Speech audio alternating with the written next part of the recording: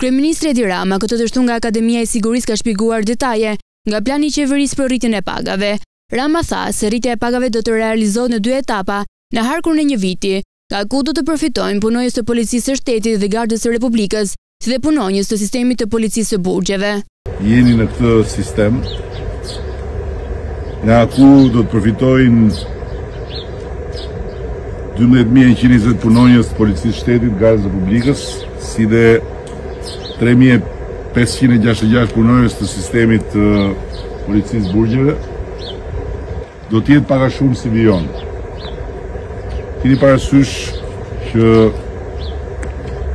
dhe ju dini shumë mirë që paga paga e çdo niveli nuk është njësoj për të gjithë në atë nivel sepse ka vjetërsi pune, ka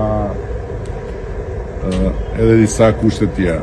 Rama theksoi se Shqipëria sot është në kushtet ku mund të bëhet kjo rritje e konsiderueshme e pagave. Finale Besoj që do të kemi paga dinjitoze të komplet të krahasueshme me rajonin. Jam i bindur që do të motivoheni më shumë, do të keni shumë më tepër mundësi për të